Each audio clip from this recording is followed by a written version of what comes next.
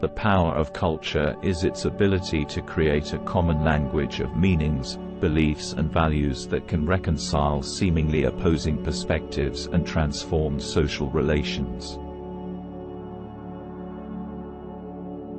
The notion of mimicry is not simply one of passive appropriation or mimicry, but of a critical relation of caricature, repetition, and expropriation.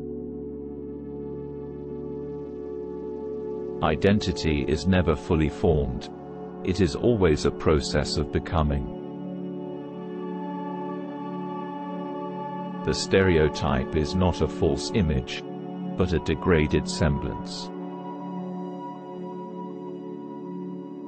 The third space is a space of enunciation, not of representation. There is no such thing as an authentic culture. All cultures are invented, hybrid and constantly changing. We are all in a state of migration, whether physical, cultural or psychic. The post-colonial condition is not just about politics and economics, but also about culture and representation. The colonial encounter is a moment of crisis, a moment when identities are contested, and new forms of cultural and social identification are invented. The colonized subject is never completely submissive, but always actively negotiating and resisting colonial power.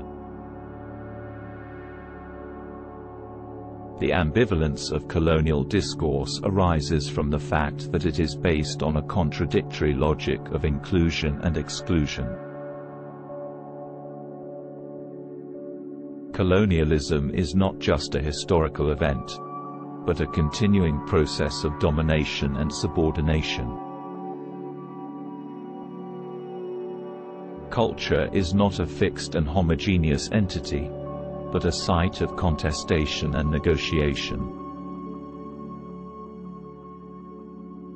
The border is not a fixed and stable entity, but a site of continuous transformation and hybridity.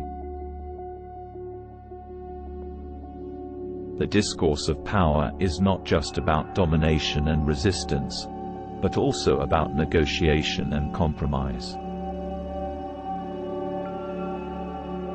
Hybridity is not a state of being, but a process of becoming.